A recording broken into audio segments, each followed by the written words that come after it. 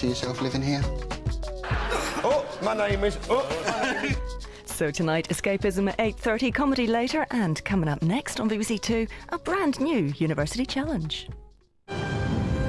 From the dawn of technology This axe is the most sophisticated object on the planet. to the first words, Ergaster are the first of our ancestors to have a human voice. Witness the birth of modern man Their insight into their surroundings is nothing short of revolutionary. as our human journey continues. Come Walking with Cavemen, Thursday at 8 on BBC One. All right. All right, mate. I've uh, come round to watch eight BBC channels. What, all at once? For your free guide, call 08700 10 10 10.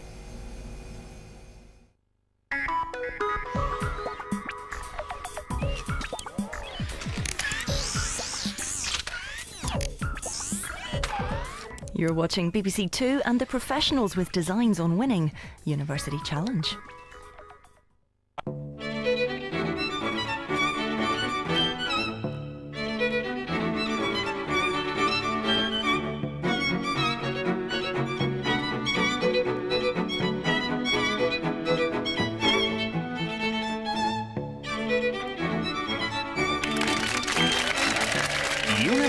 Challenge The Professionals. Asking the questions, Jeremy Paxman.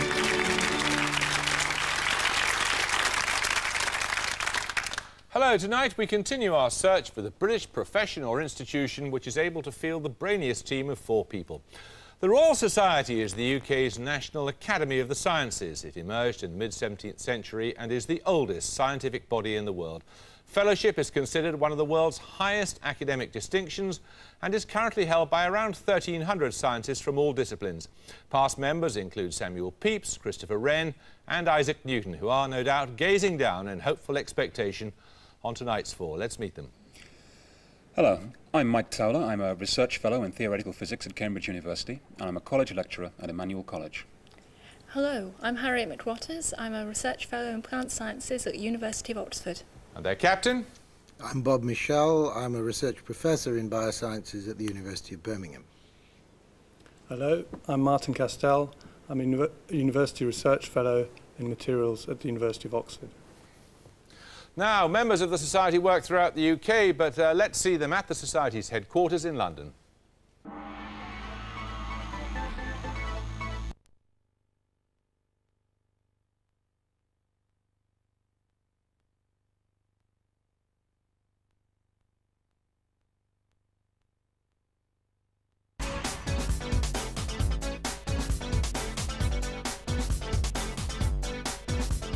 Scientists stereotypically are often thought of as uh, mad professors or people who want to take over the world. Um, that's not really what they're like at all. They're generally very normal and ordinary people with broad interests, but who happen to be fascinated by answering particular questions about how the world works. I enjoy the excitement of discovering something completely new that no one else has seen before.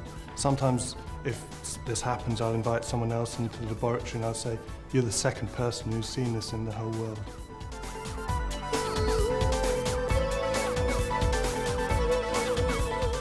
There was no particular motivation to appear on the show. Uh, I don't really want to be on it, to be honest. The Royal Society sent round an email asking all its fellows to fill in the answers to a quiz. Um, and I had nothing to do for 10 minutes, so I filled it in and sent it off without thinking through the implications. And unfortunately, I got more answers right than all but three of the others, and sadly, they asked me to be in the team, and I was too chicken to refuse.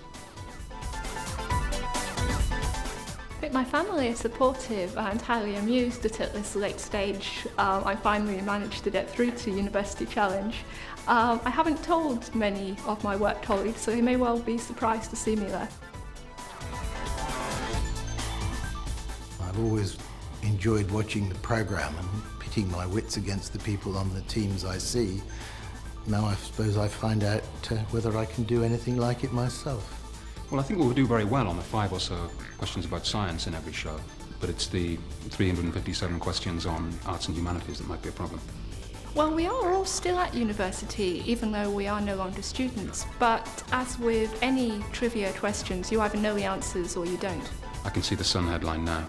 Mentally challenged top boffins defeated by brave fishermen.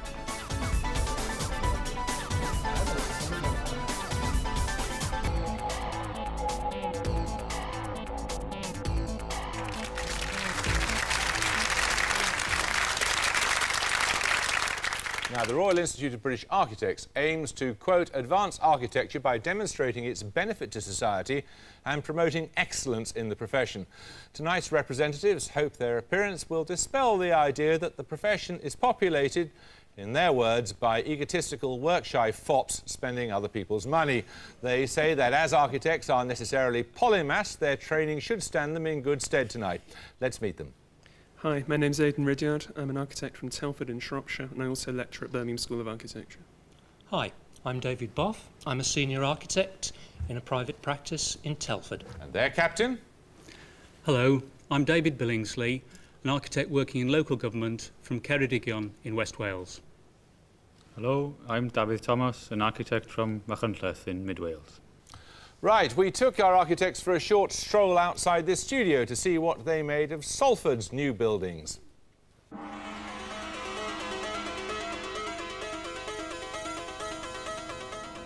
I'm the captain of the architects team. When we heard that a new series of University Challenge was being put forward, we decided to come out from behind our drawing boards and show that we could engage with the real world.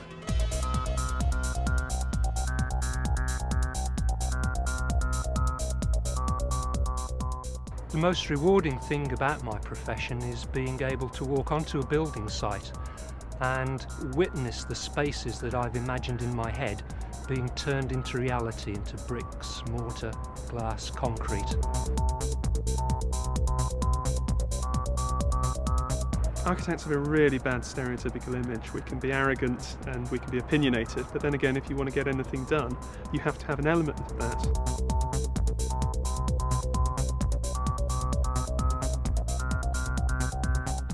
I think training as an architect has given me a broad knowledge of many fields ranging from art, science, law, politics, and I think as a series of individuals we have many strengths in more specialised subjects. One of the weaknesses of the team will probably be science, and although I studied it for a while at university, I've forgotten most of it, and uh, I seem to only know useless or trashy information.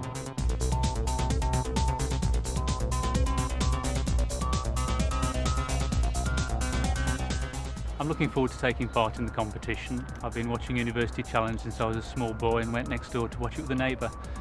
I think it's probably the best general knowledge quiz programme that there is on television and has been for a long time. It'll be a privilege to be able to take part in it. One of the reasons I'm looking forward to University Challenge is to meet Jeremy Paxman face to face and uh, to come across his wit and see if he's as witty in real life as he is on the telly. At the moment I haven't told very many of my colleagues and family about appearing on the show, mainly to avoid embarrassment. You know the scenario, get a question wrong and they'll be reminding you about it for years, but hopefully they'll all be tremendously excited when they see me. I think the reason I wanted to appear on the show was primarily curiosity. Um, uh, rather than shouting answers to the TV screen, I wanted to see if I could do it in the flesh.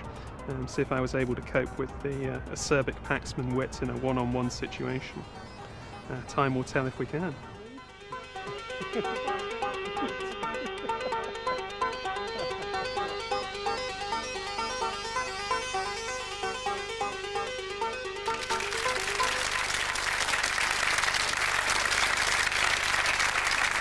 Well, before we begin, you all know the rules. 10 points for starters, 15 for bonuses. But remember, there's a five-point penalty for incorrect interruptions to starter questions. Fingers on the buzzers. Here's your first starter for 10. Three novels by Charles Dickens, including Bleak House, short stories by H.E. Bates, O. Henry, Saki and Somerset Maugham, works by Hermann Hesse, Graham Greene and Evelyn Waugh, including the Sword of Honour trilogy, and nine unnamed plays by Shakespeare were linked by which avid reader in December 2002? He also listed works by John Mortimer, adding, I was in no doubt that Rumpole would have got me off. Architects Billingsley. Jeffrey Archer. Jeffrey Archer is correct, yes. This is reading list in prison. So you get the first set of bonuses there on pottery and porcelain manufacture. Firstly, for five, what name is given to the white clay, also called kaolin, formed from the natural weathering and decomposition of granites poor in iron oxides? China clay. Correct. What name is given to the creamy mixture of clay and minerals made into a slurry with water and used for casting objects in a mould, for decorating objects or for joining pieces? Slip. Correct. What name is given to the body of a piece of pottery before it is glazed or, or which is left unglazed? The form? No, it's biscuit. Another starter question. Which word derives from the Latin for hump and is used to mean the phase of the moon when it is more than half but less than full?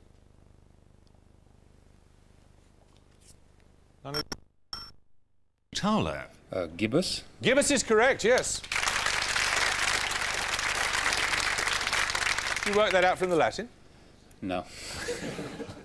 Well, it was right anyway. Here are your bonuses. Three questions on Shakespeare and Rome. Which of Shakespeare's plays begins with the sons of the late Emperor of Rome, Saturninus and Bassianus, confronting each other before the Capitol? Titus Andronicus. Titus Andronicus. Correct. Which of Shakespeare's Roman plays begins with a mob of citizens armed with clubs working themselves up to violence? Coriolanus. Coriolanus is right. In which of Shakespeare's plays are some scenes set in Philario's house in Rome and others in Wales, at Milford Haven and at the cave of Belarius? Cymbeline. Cymbeline is right. That takes you into the lead and another starter question. Ten points for this. Who's being described? Born in Neshabur in what is now northeastern Iran in the 11th century, his surname means tent maker, probably after his father's occupation.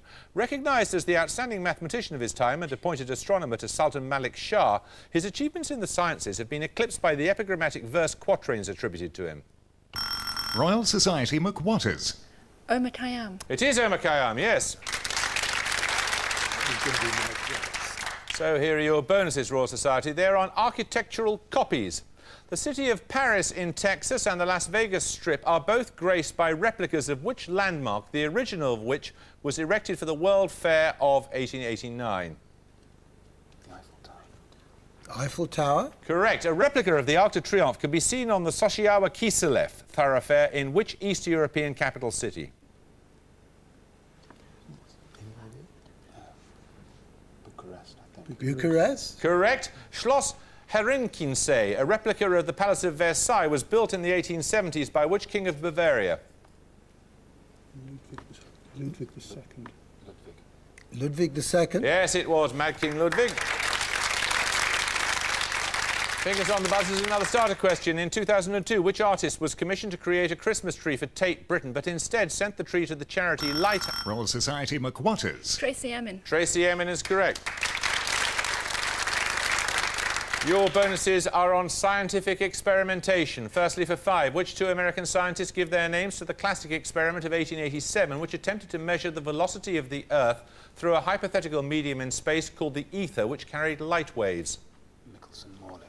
Michelson-Morley. Correct. Using a modified Michelson interferometer in the experiment, Michelson and Morley expected to see a shift in interference fringes when what action was performed in the interferometer? It was rotated. It was rotated. More? Hmm? Uh, by 90 degrees. Correct, yes. What explanation of the null result observed was given independently by the Dutch physicist Hendrik Antoon Lorentz and the Irish physicist George Edward Fitzgerald and was later given a theoretical basis in Einstein's special theory of relativity?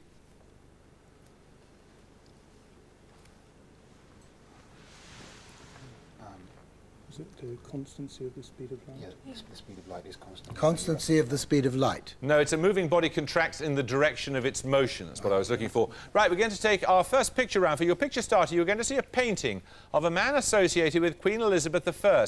Ten points if you can name him. Architects Billingsley. Cecil. Hen More um. Henry Cecil is it the first uh, Cecil to be uh, chief minister? Uh, no, I can't accept that. Royal Society?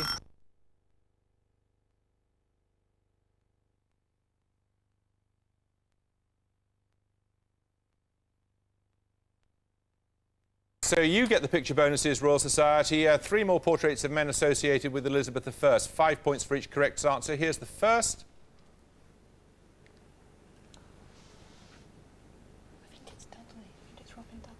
Robin Dudley? Uh, I think I'll accept this. Robert Dudley, the Earl of Leicester. Yes, here's the second. Is that right? Hmm? Walsingham or Raleigh? I don't think it's Raleigh. Okay, Walsingham. Walsingham? It is Sir Francis Walsingham. And finally,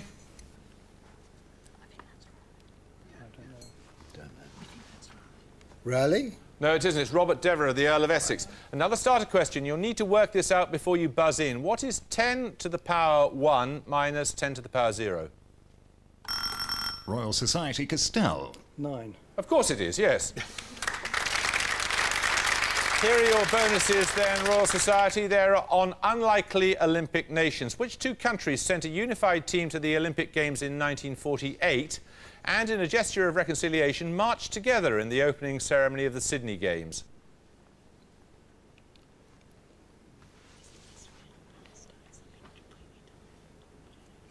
Israel and Palestine? No, it was North and South Korea. You're dreaming there. Uh, secondly, Well, for I'm- five points, which German region sent its own team to the 1952 Games before achieving its status as the 10th land of West Germany in 1957? Is that Schleswig-Holstein? Well, what did you think? He said she's a Rhine-Westphalia, right? Rhine-Westphalia.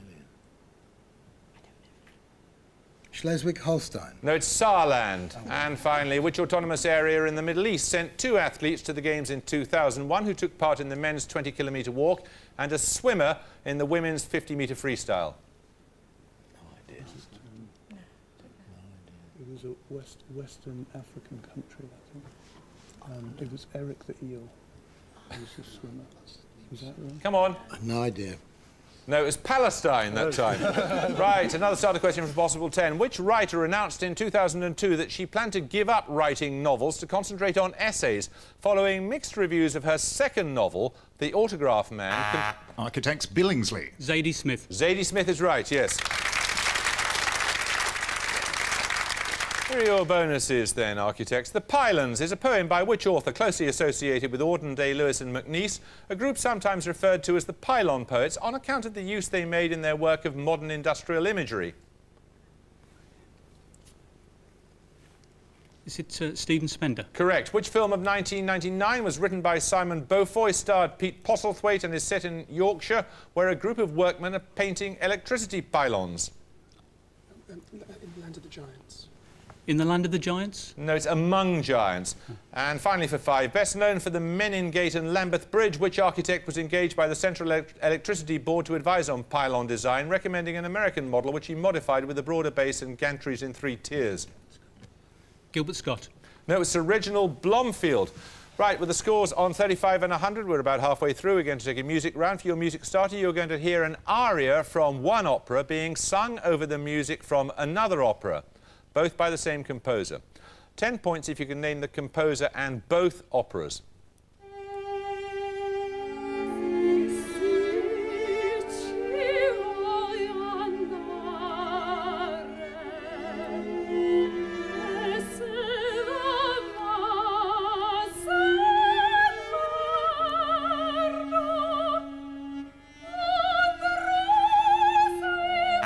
Architects Billingsley. Is it Puccini? Yep. La Bohème and Tosca. Um, no, anyone to buzz from the Royal Society? You may not confer. Royal Society Towler. Um, La Bohème and Madame Butterfly. No, it's Gianni Schicchi and Manon Lescaut. Schicchi, sorry. And Manon Lescaut. So we'll take the music bonuses when someone gets to start a question. Right, here it comes for 10 points. Who or what is being described? A perfect organism, its structural perfection is matched only by its hostility. The assessment continues. I admire its purity, its sense of survival, unclouded by conscience, remorse, or ah, delusion. Architects Ridyard. The Alien. The alien predator in the film of that name, yes. So we're now going to have to endure some more of those awful uh, run together pieces of music. Uh, three more arias. Uh, in each case, name the composer and both operas. Here's the first.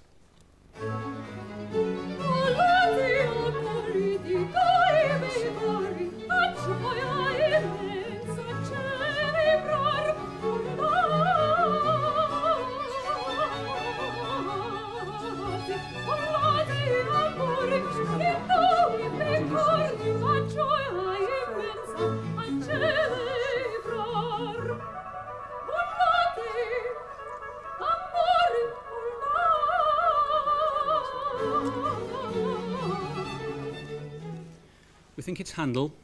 Yep, you're right so Um, far. Julius Caesar. No. It's Ariodante and Acis and Galatea. Right, we'll take another one for five points.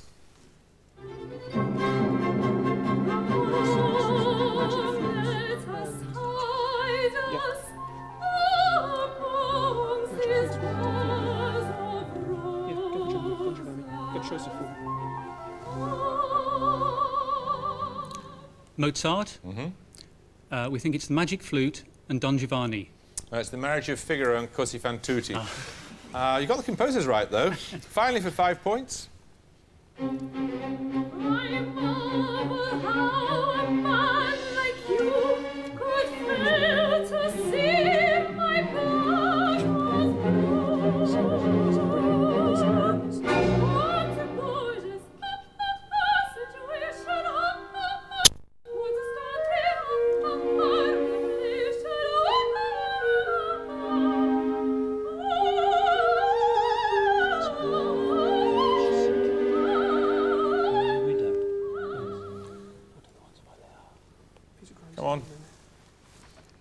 Is it Benjamin Britten? No, it's Johann Strauss. It's the laughing song from Die Fledermaus and the Gypsy Baron. Uh, we'll take the producer out and quietly put him down later. right, start a question for a possible 10. Which term originates with Cormac Teague McCarthy's equivocating responses to Elizabeth I's demands that he surrender his castle to her, prompting her to say he never means what he says, he never does what he promises. The term, deriving from the name of McCarthy's Cork castle, now refers to a beguiling eloquence. Architects Ridyard. Blarney. Blarney is correct, yes. Your bonus is architects are on severed noses. A long established but now discredited story suggested that the severing of which nose was caused by target practice by Napoleon's troops. 14th century iconoclasm is now believed to be a likelier cause. Is it the nose on the Sphinx? It is indeed at Giza.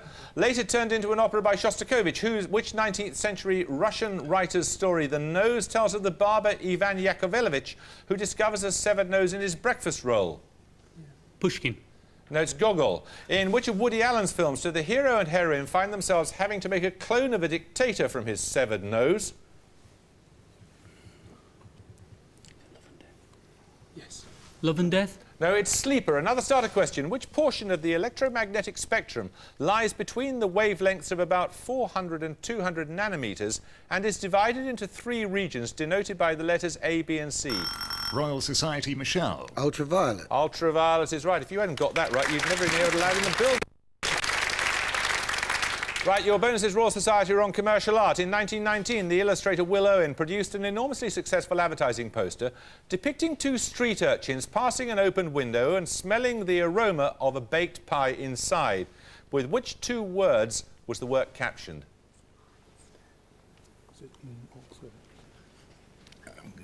Arbisto? Arbisto is right. Born in 1928, which artist specialised in advertisements for shoes, making him one of the most financially successful artists in New York by the end of the 50s, after which he became a leading exponent of pop art? Just been an ex. Hmm? Andy Warhol. Correct. Born 1898, which surrealist's early commercial work included illustrations for the advertising industry and motifs for wallpaper before his first exhibition in Brussels in 1927?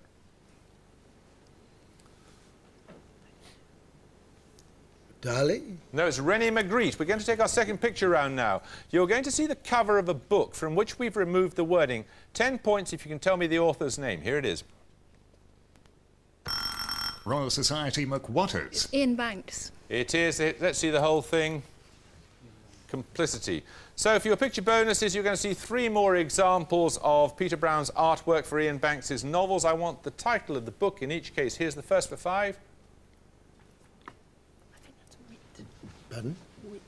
Whit. Yes, it is. Let's see the whole thing. There it is. Here's the second coming up now. Bridge. The bridge. The bridge is indeed right. There it is. And finally... Espedair Street, but I'll nominate Waters.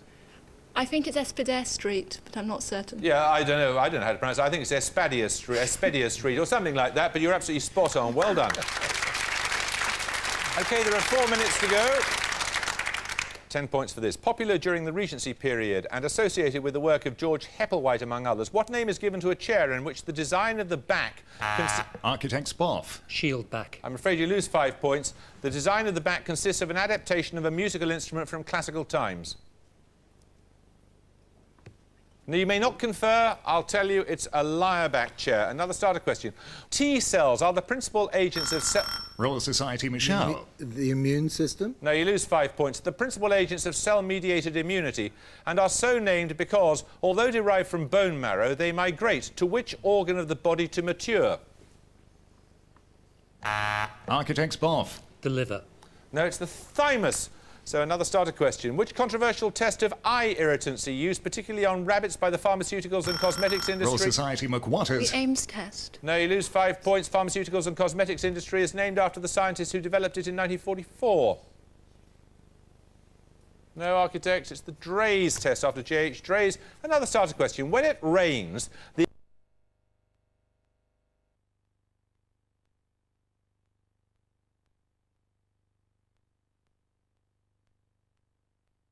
Tribune in December 2002, saying that it offered their wives a hideous sartorial destiny. Royal Society McWatters. Members of the Church of England? Nope. Anyone want to buzz from the architects? Architects Ridyard. Greek Orthodox. Greek Orthodox clergy is correct. Three questions on fluid viscosity for your bonuses. Which Swiss mathematician first derived the theorem named after him, which implies that in a horizontally flowing fluid, a decrease in fluid pressure is accompanied by an increase in fluid velocity? Venturi? Uh, no, it's Daniel Bernoulli. Which dimensionless number is named after the British engineer and physicist who in 1883 demonstrated that the transition from laminar to turbulent flow in a pipe depends on the value of that number equal to the speed of flow times the diameter of the pipe times the density divided by its viscosity. It's not pi, is it? No, it's no, it's not. It's Reynolds number. Which British physicist and mathematician is particularly noted for his law of viscosity, which describes the motion of a solid sphere falling in a viscous fluid? Come on, there's only a minute to go. No, it's Stokes. Another starter question. Which annual publication reports in its 2003 edition that traditional games are in grave decline, with the number of hostelries ah, providing... Architects Billingsley. Wisdom. No, you lose five points. The number of hostelries providing a dartboard or bar billiards having dropped by 7% and 12% respectively in the last year. Quickly, come on. Royal Society McWatters.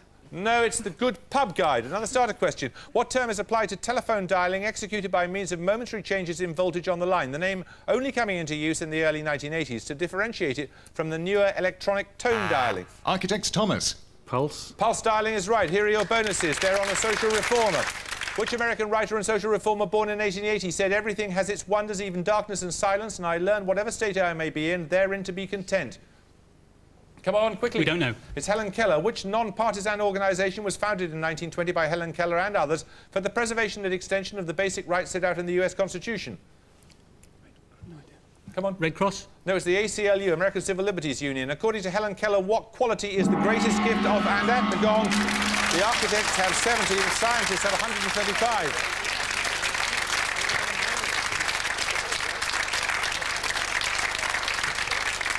Uh, well, bad luck, architects. You got off to a good start, but you faded a bit, and you were unlucky in how some of the questions fell out. So I'm afraid we'll be saying uh, goodbye to you, but thank you very much for taking part. Uh, Royal Society, 135, maybe one of the highest scoring uh, eight winning teams, so we may be seeing you again in the quarterfinals. I do hope so. Thank you very much for taking part.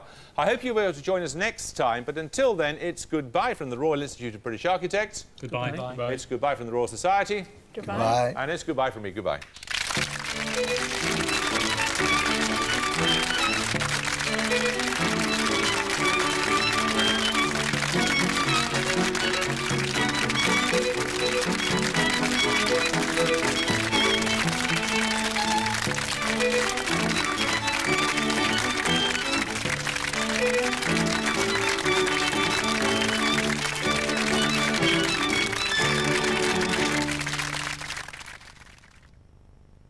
More tough questions to test your knowledge and a look behind the scenes in this special University Challenge book to celebrate 40 years of the programme. Do you think you could see yourself living here?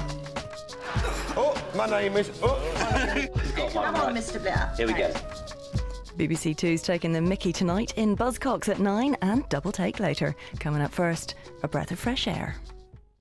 Hmm, is it War and Peace, Pride and Prejudice, or Noddy and His Car? What's your favourite book? To vote for it in the big read, call 090 820 Or vote online at bbc.co.uk forward slash big read. Personally, I've got a thing about the very hungry caterpillar.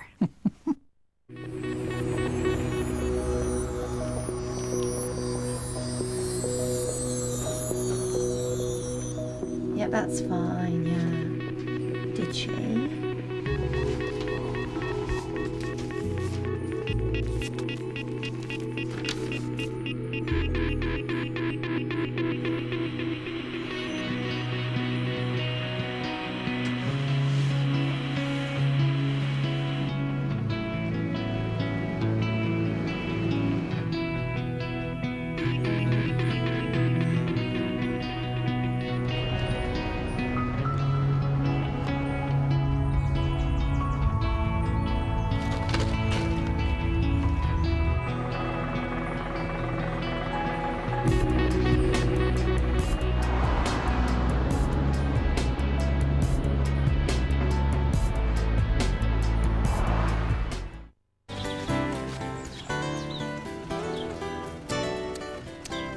This weekend is an important one for all gardeners, and the Gardeners World team are going to arm you with everything you need to know about your lawn before you venture out. Gardener's World, Friday at 8.30 on BBC Two.